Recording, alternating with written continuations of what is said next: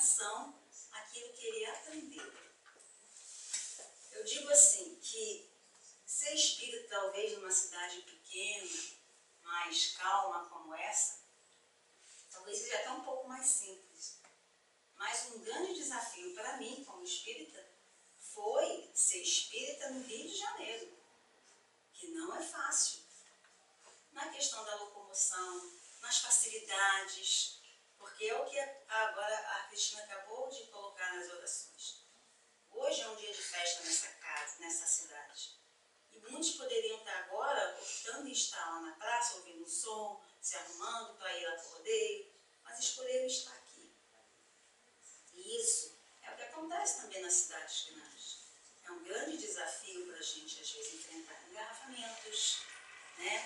o tumulto de voltar para o trabalho, as facilidades de uma festa, de um, de um outro evento, mas não, nós escolhemos estar na espírita, cuidando também do nosso espírito. Então, assim, para mim, como uma, uma iniciante, que eu vou chamar assim, porque por mais que eu já esteja na doutrina. Há 15 anos, eu fui muito aquela, aquela é, espírita do passe da água frutificada, sentando na cadeira e ouvindo as palestras. E até o momento que eu é pouco, isso é muito pouco. Né?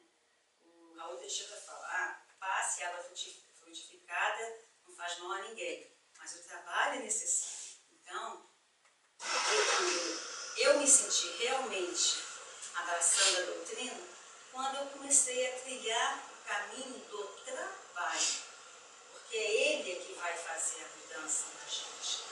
Então, eu comecei a trabalhar uma coisa mais, eu falo assim, mais gratificante e que realmente fez bem ao meu espírito, que é a caridade com os irmãos de rua. São, são, são dias que eu me sinto melhor, que eu, que eu abraço com amor e dedicação. É o dia que eu falo da minha quentinha. É uma casa grande, uma casa de Eurípides, e cada dia é uma equipe, e eu tenho uma equipe lá que me auxilia, que é o terceiro sábado, e a gente faz a quentinha e mais açúcar. E é isso que eu falo. Até para fazer a caridade no Rio de Janeiro, a gente, além da proteção que temos, ó, também não é simples, porque a gente se desloca para um lugar bem distante. A gente leva uma hora e meia para ir para o local, passa por situações às vezes mas a gente tem sempre um amparo e não desiste, e vai em frente. E chega lá numa rua, no centro da cidade, tem para mais de 200 moradores de rua. Nunca nos aconteceu absolutamente é uma fila organizada, eles veem a caravana, eles nos, nos recebem com boa noite, com muito obrigado, com lá com Deus. Estamos lidando com viciados? Estamos. Com alcoólatras? estamos, estão lidando com todo tipo de espírito doente. E eles é que nos traz, nós trabalhadores, o remédio, que nos faz refletir.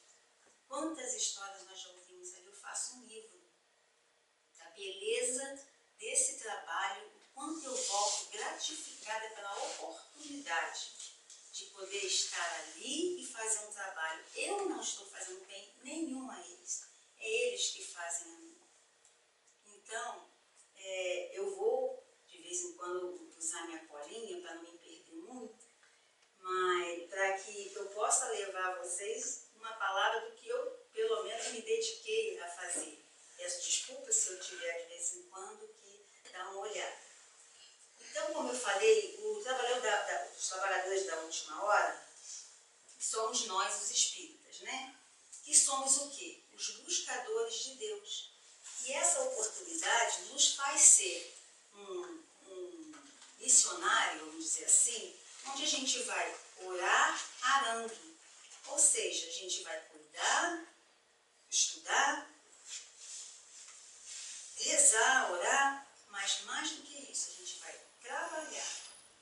E esse trabalho vai depender, claro, da condição de cada um, mas principalmente que ele saiba o porquê dele estar fazendo o trabalho, o porquê dele estar buscando esse trabalho para o aperfeiçoamento dele, para a evolução dele, e não por uma questão de automatismo que hoje às vezes tem da, da parte cristã. Ah, eu vou para a casa espírita, eu vou rezar, vou, ganhar meu, vou receber meu passo, tomar minha água purificada, pronto. Já fiz a minha parte com Deus, está ótimo. Não, isso aí não é a prática que o Espiritismo pede. O que ele quer é que você venha, que você ouça, que você aprenda, que você estude e que você saia do mundo levando o que você aprendeu na doutrina. É como você levar o seu carro num posto de gasolina, colocar a gasolina e ficar rodando lá dentro do próprio posto. Até a gasolina acabar e você abastecer de novo. É isso? Não. O que a doutrina pede?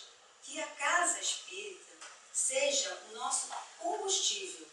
Aqui a gente aprende e a gente sai levando para o mundo praticar aquilo que aqui nós aprendemos.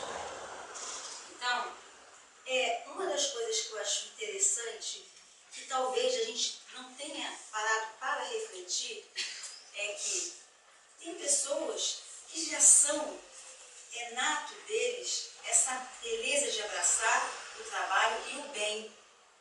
Alguém já parou para pensar assim, o que leva um, uma pessoa ficar oito, dez anos estudando na medicina e depois ir para países tão precários como a África, né?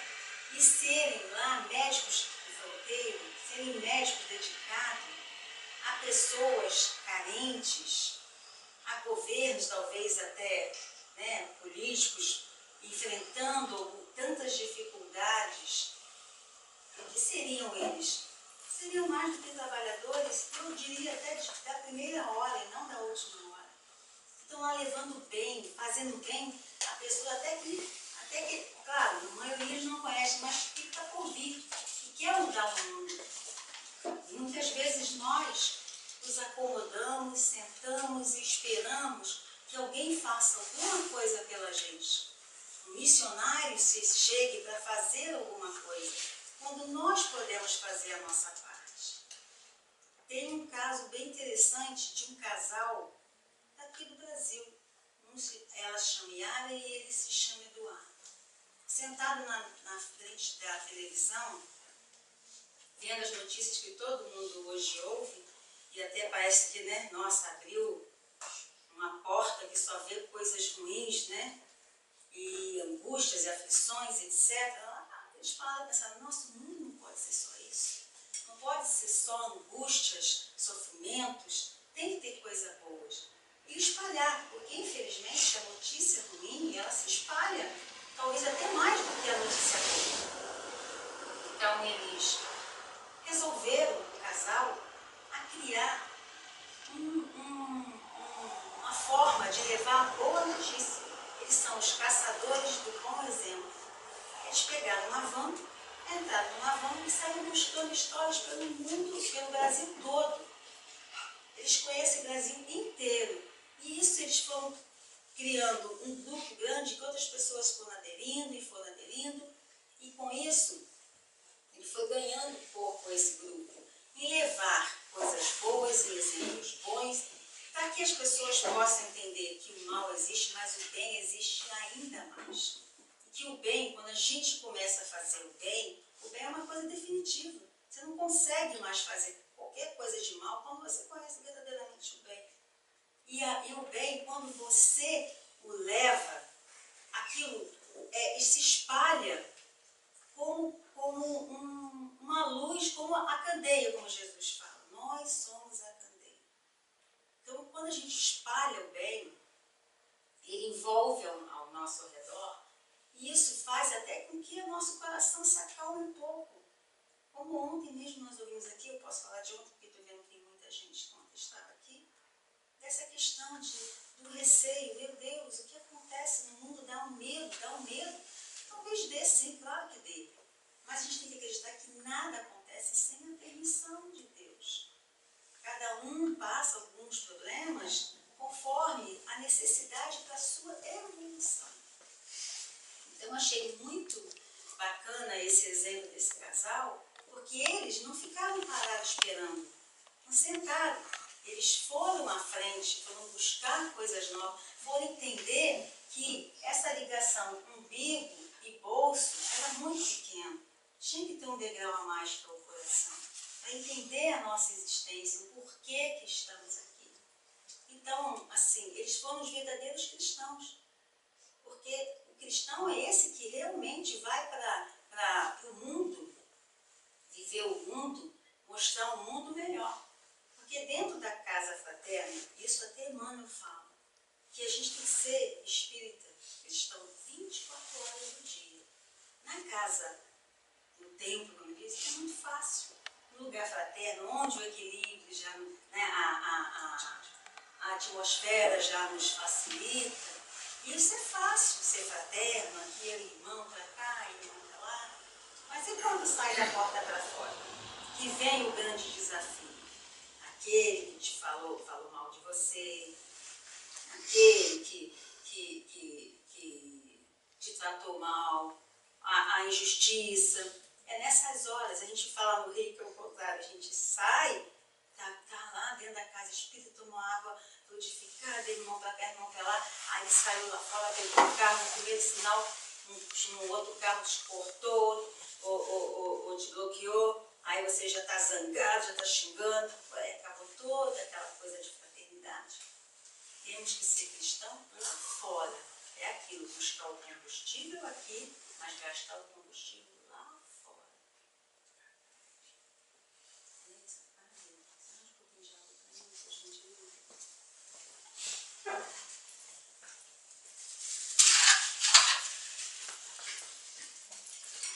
Aí eu pergunto, quando a gente está a estudar, está na casa espírita, ouvindo várias palestras, ou é, estudo, fazendo parte do grupo de estudo, quais as convicções que você leva para fora? O que você leva e, e, e oferta ao seu irmão? Aquele que está longe, aquele que está fora da casa e não tem ainda o teu conhecimento, ou melhor, que não despertou para esse tipo de, de caminho. Obrigada. Essa enxerida aqui faz isso para gente. Além da ansiedade. Então, você já parou para refletir assim, o que quando eu venho para casa espírita e, e, e, e, tento ser um pouquinho melhor como, como espírito a evoluir, o que eu levo para aquele irmão lá de fora? eu, como um trabalhador da última hora, o que eu faço pela minha própria casa? Porque todo o trabalho no bem, ele é muito importante. Ele é muito importante. E aí, o que você faz também pela sua casa? Porque, por exemplo, um orador, é super importante o trabalho dele, é, é de muita responsabilidade, é, porque ele está levando a palavra aos outros irmãos. Mas não é mais importante de quem veio aqui hoje de manhã e varreu esse salão. De quem se preocupou de ir lá colocar águazinha em cada copinho para ser frutificado. aquele que foi lá e limpou o banheiro que você vai precisar usar. Isso tudo é trabalho. Isso tudo a missão de um verdadeiro espírita. Não escolhe trabalho. Ele engrandece, seja ele pequeno ou grande. Então, isso também é uma coisa que a gente tem a refletir. Como eu vou ajudar a divulgar a doutrina? Como eu vou ajudar a trabalhar na minha casa? Eu tenho meu diretor lá, que é o Gilberto. Na verdade, eles eram gêmeos e o Gilson faleceu fez um ano. Então, ele nos ajuda lá na outra parte, lá em cima, e o Gilberto está aqui embaixo, botando a gente para trabalhar. E se dá bobeira com ele, ele bota mais trabalho. E ele fala isso mesmo. A gente tem que estar trabalhando o tempo todo. E o trabalho é que nos engrandece. É ele que vai nos dar a possibilidade de melhora. É, é, se eu fosse esperar eu ser perfeita, porque a gente cai nesse comodismo. Ai, mas eu sou tão imperfeito ainda para isso. Ai, mas eu sou imperfeito para aquilo. Somos sim. Mas aí está a grande diferença. A gente, né, até Kardec fala, como é que a gente identifica o espírita né, se evoluindo? A, a vontade dele de é, é, vencer as más tendências. Então, se eu fosse esperar perfeição, eu não estaria aqui. Eu sou perfeita? Não, não sou, mas eu tenho consciência, porque esse é um dos grandes detalhes da nossa doutrina, ter consciência, e ela coloca essa responsabilidade em nós, de nós mudarmos. Essa também é uma grande diferença de tantas outras doutrinas, que ela nos coloca com essa responsabilidade da nossa mudança interior, das nossas ações. Então, se eu fosse esperar ser perfeita para fazer determinados trabalhos, eu nunca iria fazer. E isso chama-se comodismo. Eu vou inventar uma desculpa aqui, outra ali. Né? É como agora, vocês estão sentados aí. Eu posso falar uma, duas horas, não ficar sentadinhos aí tranquilamente. Mas se eu falar daqui a quatro, cinco horas, vocês vão ficar incomodados. Vocês vão ter que se mexer, já vão querer levantar. Se eu passar desconfortavelmente vocês já estarão.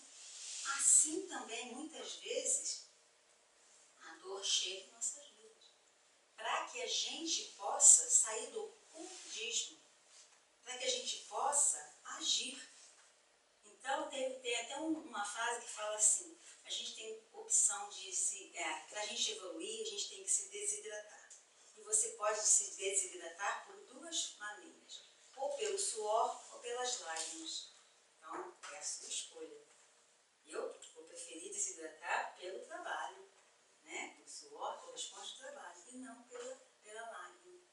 E tem um, tem um, um, um, caso que se fala de exemplo para a questão do comodismo, que é a história que talvez muita gente já conheça, que é a daquele cãozinho que está lá na porta da lanchonete chorando, chorando em cima do tapete. Aí chega um rapaz e oh, por que esse cachorro está chorando aí, deitado no tapete?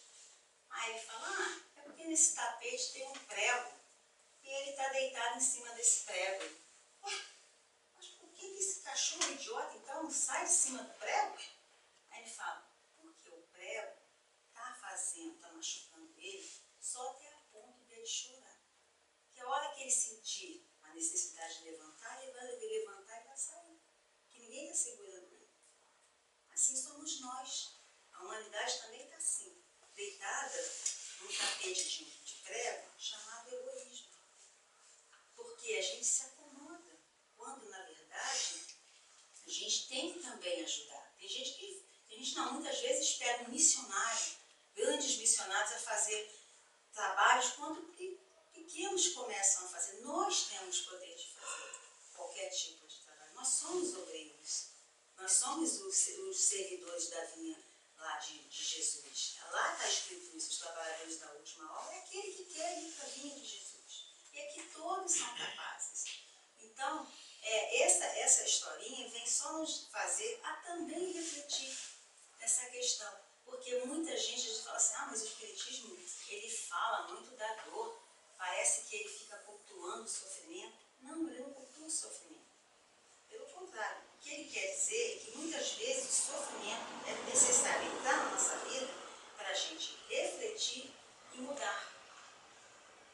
não se acomodar. Porque todo sofrimento, lá na frente você vai ter uma resposta, que é o quê? Você mudar, mostrar a sua boa tendência, as coisas boas que tem dentro de você e coisas que você pode construir com o sofrimento. Ele sempre faz você refletir. Tem um, um, um escritor, ele se chama Rubem Alves, que ele fez um livro que é assim, que o tema é Ostra feliz não faz pérola. Ostra feliz não faz pérola. Eu achei interessante, porque eu fui, fui ler a, a sinopse dele, e ele fala justamente disso. Acho que a, a maioria conhece, sabe como a pérola é produzida na natureza, né? Na verdade, a ostra, ela, um cisco, uma areinha, um grão de areia entra dentro da ostra e machuca a ostra. E aquele machucado, ferindo, vai se criando como se fosse um, um, um vai solidificando e vai endurecendo, criando assim a pérola. Então, do sofrimento da ostra nasce-se essa beleza. Ele até faço questão de ler, porque ele fala uma coisa muito bonita, que serve muito para a gente hoje em dia. Ele fala assim, a ostra, para fazer uma pérola, precisa ter dentro de si um grão de areia que a faça sofrer. Sofrendo, a ostra diz para si mesma: preciso envolver essa areia pontuda que me machuca com uma esfera lisa que tire as pontas. E quantas vezes não é? Às vezes não é a dor que faz você sair e agir? As ostras felizes não fazem pérolas. Pessoas felizes não sentem a necessidade de criar. E é verdade, muitas vezes a gente fica tão feliz que a gente, ou melhor, quem vive mais na felicidade, esquece às vezes do essencial, das necessidades de também se movimentar, O ato criador, seja na ciência ou na arte, surge sempre de uma dor. Não é preciso que essa seja uma dor do líder. Por vezes a dor aparece como aquela coceira que tem o nome de curiosidade. Olha que interessante da dor, se você falar, é uma simbologia muito bacana que eu achei. Porque da, da dor da ostra nasceu a beleza de, ele quis dizer, a dor se transformou numa pérola, numa joia. Porque ela precisou sofrer, mudar, agir, combater e vencer. Então, a, a, quando se fala que o, o sofrimento nos traz uma grandeza de espírito, é justamente por isso porque ela faz nos movimentar. Ela faz com que a gente possa agir, refletir, trabalhar. Muitas vezes a gente, quando passa por alguma, alguns sofrimentos, a gente também tem a oportunidade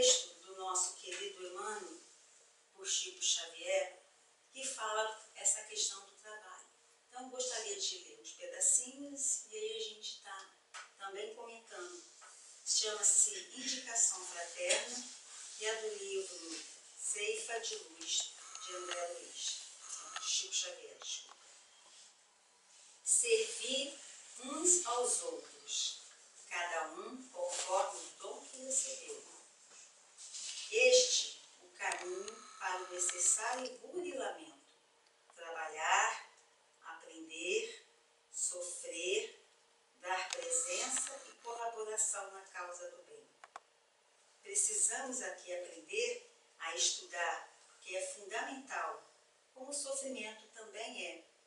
Para, não como culto ao sofrimento, não é isso, mas como eu disse, é que muitas vezes dele é que nasce a oportunidade de crescermos. O amor encerra em si as leis do universo e tudo que fizermos contra o amor é algo que criamos contra nós mesmos.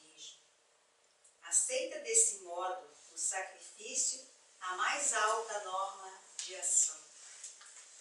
O que seremos nós sem o amor? O que seremos nós sem amor? Nosso Jesus, nos amando, nos colocou aqui como sementes a florescer. Ele acreditando e amando, mesmo nós errando tanto como nós erramos, Ele nunca nos deixa de amar. O amor é que move. O amor, seja ele de pai para filho, de irmão, de vizinhos, de amigos, o amor é que supera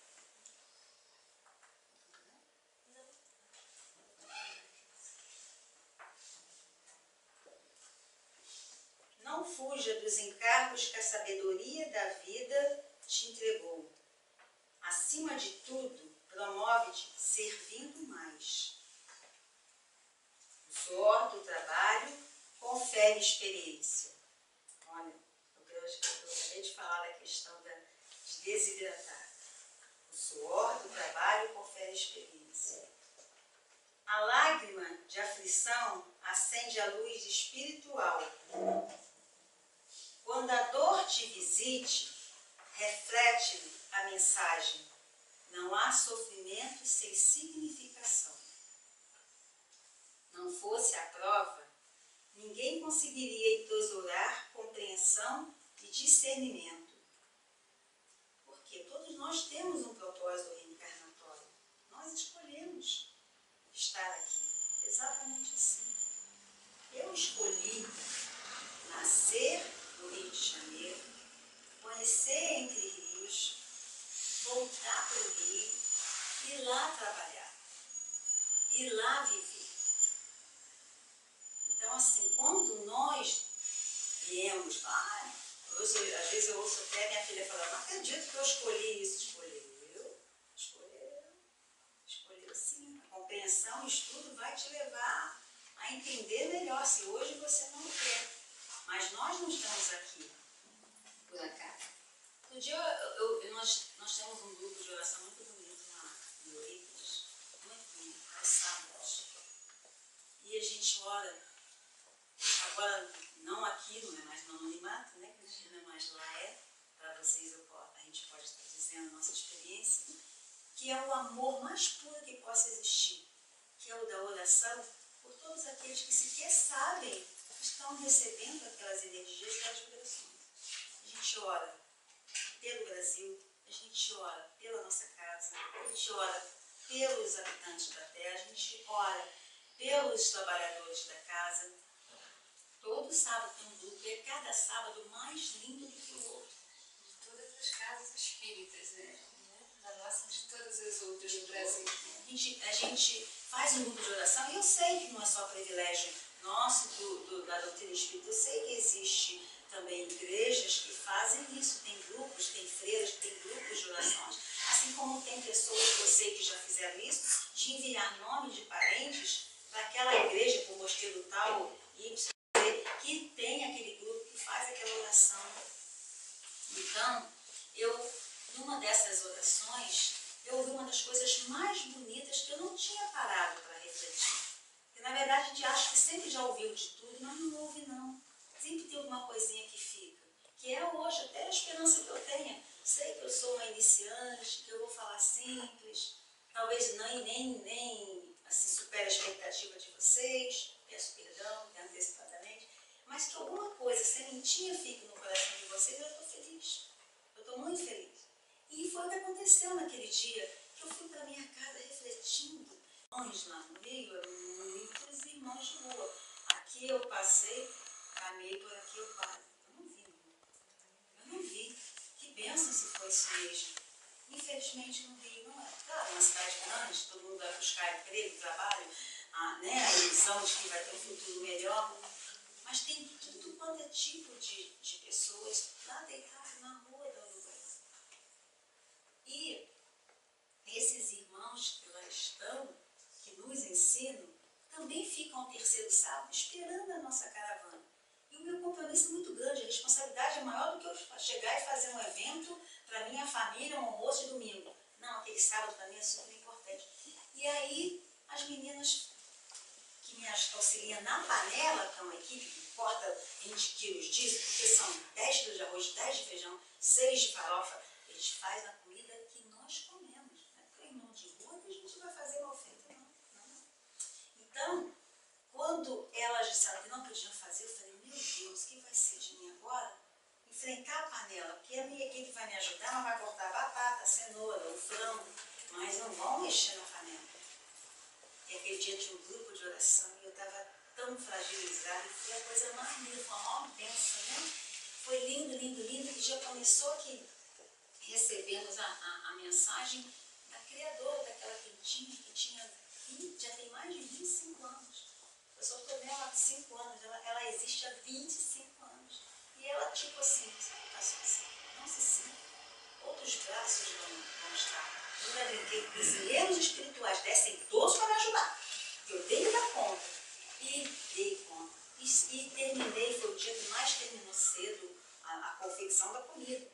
Nós descemos, levamos a comida, graças a Deus, ali os irmãos que estavam, não chegou um ou outro, não, dá, se a gente fizer 400 comida, vai embora 400, vai sempre faltar a 401, se fizer 500, vai faltar 501, mas você vê como o amparo é tão grande, quando você está com o coração aberto, a vontade, que simplesmente tudo acontece e parece que tinha 20 pessoas conosco. Porque a caravana tem que ser grande. É uma administração de uma logística grande. E aí a gente pensa que, nossa, não vai conseguir, não vai dar. Não, assim, até o cansaço. Estava falando isso desde minha marido, estava desde cedo, lá fazendo, acontecendo. Depois vou para casa, tomo banho rapidinho, volto, pego pegamos o carro, que é à noite que a gente distribui. Nunca nos aconteceu. Nunca. Graças a Deus, será assim sempre. Descemos a Serra de hoje é Jacarapau, do centro da cidade de voltamos para casa onze e pouca da noite. Quando eu entrei dentro do carro, que eu sentei, trabalho todo perfeito, o cansaço bateu. Aí você sente no corpo o cansaço bom de trabalho, mas do coração mais leve do mundo de que você fez o teu melhor e tudo deu certo. Aquele medo que você tinha desapareceu, porque o trabalho veio e te abraça. Aqueles irmãos, não tem coisa melhor que eu falo para vocês, não tem coisa melhor. Não é ah, fazer a caridade. Não, é estar meio de pessoas que precisam do teu calor, do teu amor. Eu quando paro, meu marido para o carro na, na, na rua, eu desço a primeira perna, o resto já sai me puxando crianças agarram na minha perna, disputam as minhas pernas para me abraçar. Eu abraço todos, nunca peguei um pior. Abraço todos, beijo catarrento, não bem cheiroso, outros cheirosos, que não são também todas crianças? São, são pessoas, famílias que saem lá do lixão e vão lá receber doação, que eles sabem. E eu chego com uma lista de quatro, cinco chovais, volto para casa com 11, 12 páginas e páginas pedindo. E eu deixo claro a eles, não, não é? Eu vou fazer o que eu posso. Fui para outro ali. Mas a grandeza que eu recebo dali, o amor. Uma vez eu tinha um depoimento muito lindo de uma irmã que falava isso. Comigo tem toda hora. Nós estávamos fechando o trabalho, a gente fez um círculo para oração e alguns querem acompanhar. E essa, essa irmã essa que não é moradora de rua, mas vai lá receber, a Eliane falou assim, olha, queria falar uma palavra. E disse, comida, até toda hora tem sim. Passa toda hora dando comida aí. E realmente, quando ela falou, ela falou isso, estava passando uma Kombi. Mas não só alimento do corpo que a gente precisa. A gente precisa do alimento da, da alma, que é o carinho, que é ser chamado pelo nome, que é ser abraçado que eu, poucos eu vejo aí, ela apontou essa, essa apontou para mim, essas se, é, sim abraçam. Meu marido, quando começou também, ele ficou encantado com o trabalho, ele, oh! eu falei, chama pelo nome, eles têm nome. E eles ficam felizes que eles estão sendo vistos, enxergados. Se sentem invisíveis ao longo do dia. É, são, para a maioria das sociedade são invisíveis, são lixo. E, na verdade, quando eles são chamados pelo nome, tratados pelo, pelo nome, isso é uma gratificação tão grande, vocês não têm ideia. Aqui eu sei que vocês fazem algum trabalho, o meu pai botou aqui, não é isso? Os trabalhos bonitos, não? vai encaixar os trabalhadores de última hora. Ah, que maravilha, é mesmo, é. Então, Eu estou falando só do trabalho aqui dentro, mas realmente, isso aí, isso aí é uma extensão do Rio de Janeiro.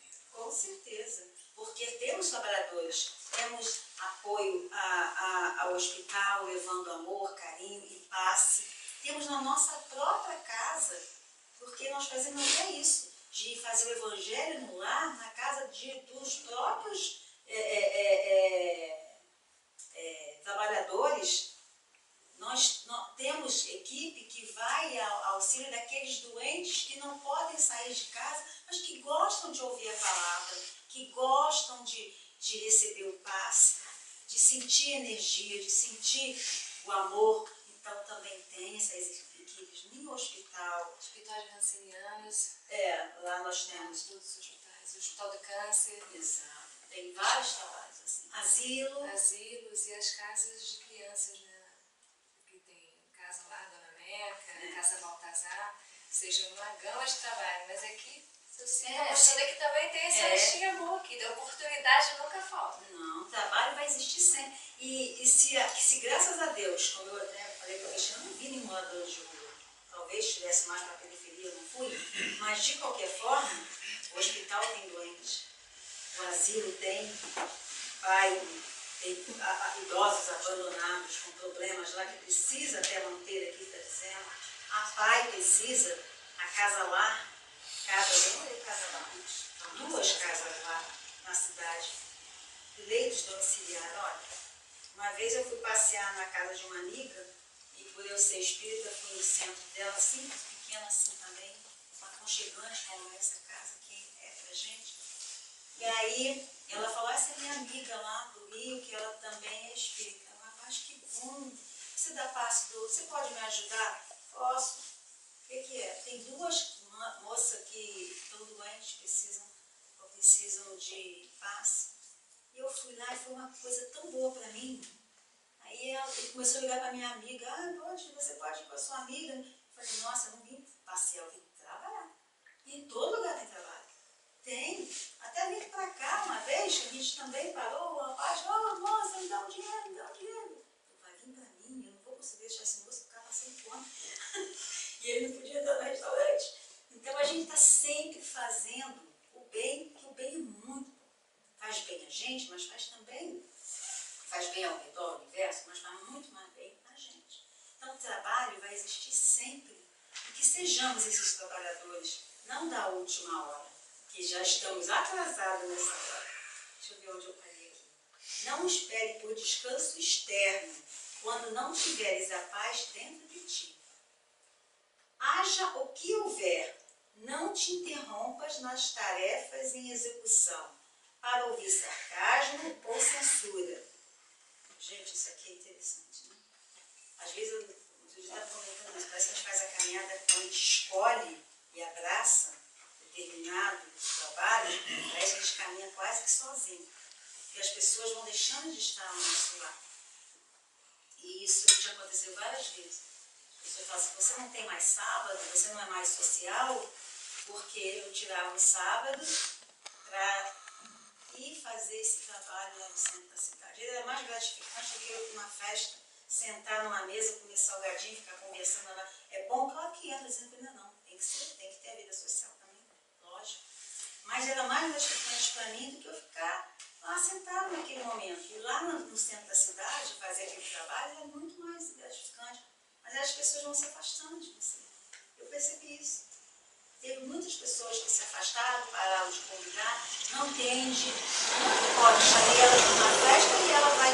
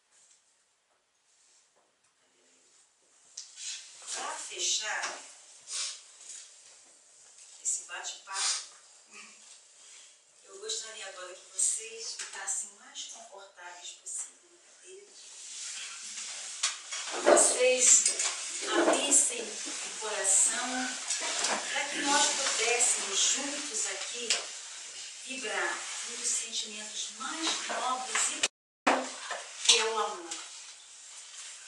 E um belo dia, o nosso Pai Deus mandou o Filho aqui na Terra para ensinar a gente a amar de verdade. Então, assim, tem um, um, uma música que me toca muito, juro, muito mesmo, porque ela resume a beleza que foi Jesus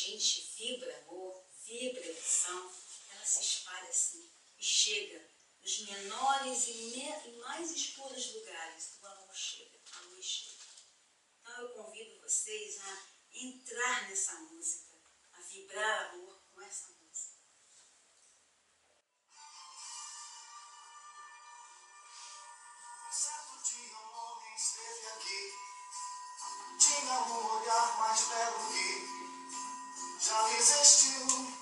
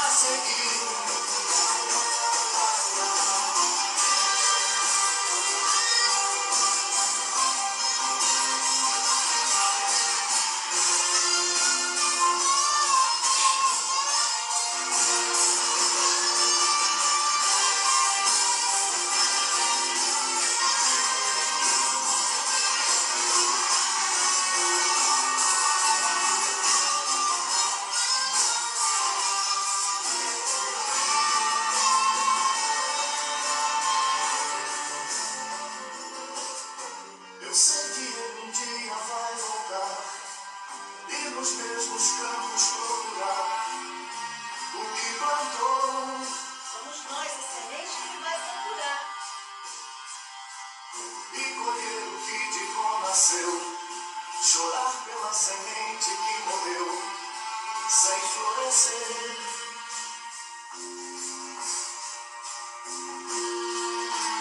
Mas ainda há tempo de plantar, fazer dentro de si a flor do bem crescer. Pra lhe entregar quando ele aqui chegar.